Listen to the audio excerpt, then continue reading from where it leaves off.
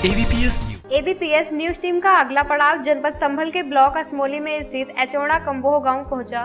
लगभग तेरासी सौ की आबादी वाला यह गाँव जिला मुख्यालय से 47 किलोमीटर दूर तो वहीं ब्लॉक से इस गाँव की दूरी मात्र 8 किलोमीटर ही है वर्तमान में गाँव की प्रधान मनोज कुमारी द्वारा गाँव में विकास कार्य बेहतर तरीके से कराए जा रहे हैं लगभग 3,918 वोटर वाला यह गाँव विकास के पथ पर अग्रसित है गाँव में लगभग 627 राशन कार्ड धारक हैं। बात अगर शिक्षा के स्तर की की जाए तो गाँव के जूनियर एवं प्राइमरी विद्यालय में लगभग 310 बच्चे अध्ययनरत हैं। गाँव में पेयजल आपूर्ति व्यवस्था दुरुस्त करने के लिए 32 हैंडपंप वर्तमान प्रधान द्वारा गाँव में लगवाए गए हैं साथ ही विद्युत व्यवस्था दुरुस्त करने के लिए 370 विद्युत पोल 18 विद्युत ट्रांसफार्मर व सोलर लाइट भी लगवाई गई हैं। वहीं बात अगर विकास कार्यों की की जाए तो वर्तमान प्रधान द्वारा गाँव में 12 सीसी टाइल्स रोड, दो खडंजा, पानी निकासी के लिए नाला, स्कूल में मरम्मत कार्य, तालाब, स्वच्छ भारत मिशन के तहत 120 इज़्ज़त घर व प्रधानमंत्री आवास योजना के तहत नौ आवास का भी निर्माण कराया गया है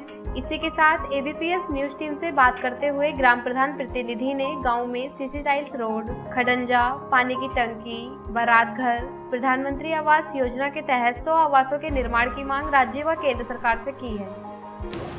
मैं छोड़ा कंबो मैं गाँव के बारे में बताना चाह रहा हूँ। मैंने गाँव में जो विकास कार्य कराया है, वो इन्हें सारा दिखाया है। फिर भी काफ़ी बड़ा गाँव है हमारा, इसमें पूरा काम तो हो नहीं पाता। ना ही इतनी निधि का पैसा आता है। अभी भी अपने पास से निधि से घट के कम से कम पाँच से सात लाख रुपए मैंने अपने लगा रखे निधि से पैसा इतना मिलता नहीं गाँव की डिमांड ज़्यादा होती है। कई अभी जो है जिनके घर तक रहने की छप्पर भी नहीं है ना ही उनकी जो अभी मकानों का आवाज़ों में पैसा है किस तरह की बनी हुई है। बीस ऐसे आदमी है गाँव में जिनके कम, से कम आवाज़ चाहिए उन्हें। गाँव में मैंने करीब 200 के करीब लेटरिन बनवाई है। उनका निधि से भी, भी पूरा पैसा नहीं मिल पाया है। बारह चौदह आवासीय बने हैं। इस तरह से गाँव में विकास जितना भी बस की हुआ उतना कराया, बाकी जितना निधि में पैसा है वो खाया नहीं है। लगाया ही लगाया बाकी है। गाँव में प्राइमरी पाठशाला है, माध्यमिक स्कूल है, उसका भी सारा कराया है। उसे भी देखो, जहाँ मैं बैठा हूँ ये सब बैठे हैं। जो पंचायत करा है इसका विकास कराया है। और चाहता हूँ कि शायद ज़्यादा से ज़्यादा विकास हो। चाहे कुछ पैसा मेरी जेब से लग जाए।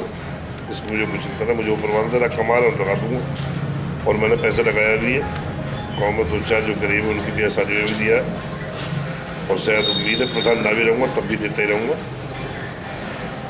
मैं तो ज़रूर चाहूँगा गाँव के विकास के लिए माननीय मुख्यमंत्री जी, काफ़ी बड़े बड़े विधानसभा ग्राम सभा सभाएँ इनके लिए ग्राम सभा के हिसाब से, वोटर्स के हिसाब से हिसाब से कम से कम निधि ज़रूर है, जो गाँव में विकास हो वरना गाँव में सिर्फ़ एक ही चीज़ होती है कि ग्राम प्रधान बेईमान है चोरी करता बेईमान है, पैसे के लिए प्रधानमंत्री ना मुझे पैसे का लालच है ना रहा न रहेगा बाकी इतना कि जो भी प्रधानमंत्री उसे पैसा आएगा तो निधि से काम कराएगा नहीं आएगा तो मेरी तरफ़ कौन काम करा पाएगा? मैं तो अपने पैसे से भी करा दूँ और करा रहा हूँ।